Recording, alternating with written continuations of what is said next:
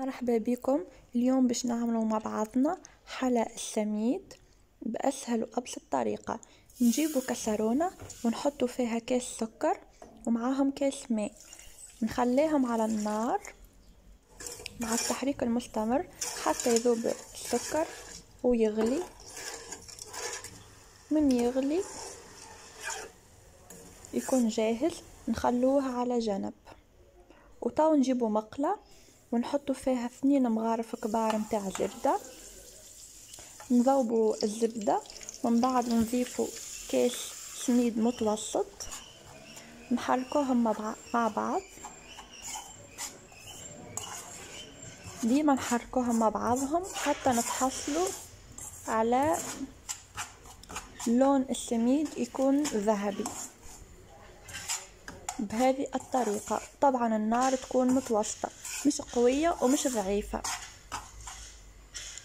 هذا اللون اللي حشتنا به طاو نجيبو السكر اللي جهزناه ونصبوه فوق السميد معاهم كاس حليب ونحركوهم مع بعض حتى نتحصلوا على قوام كريمي.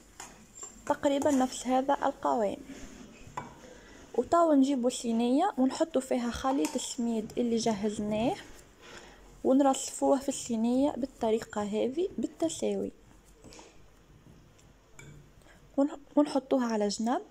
تو باش نحضروا الطبقة الثانية. نجيبو كسرونة نحطو فيها اثنين أكواب من الحليب اثنين مغارف كبار متاع السكر اثنين مغارف كبار متاع النشا ومغارفة كبيرة متاع فارينة اللي هي الدقيق. ونخلوهم على النار حتى نتحصلوا على قوام كريمي. هذا هو تقريبا القوام المناسب.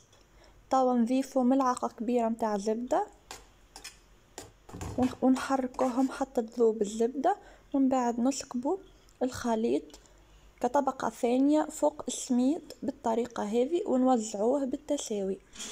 من بعد ندخلوه الثلاجة تقريبا ساعتين حتى يتماسك. وهذا بعد ما طلعناه من الثلاجة. توا نقسموه بالسكينة. من بعد نزينوه بأي شي يكون متوفر عندكم. أنا حبيت نزينه بشوية فستق شوفوا المنظر. بجد يشهي وحلا السميد جاهز.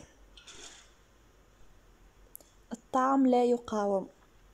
إذا عجبكم الفيديو لا تنسوا تشتركوا في القناة.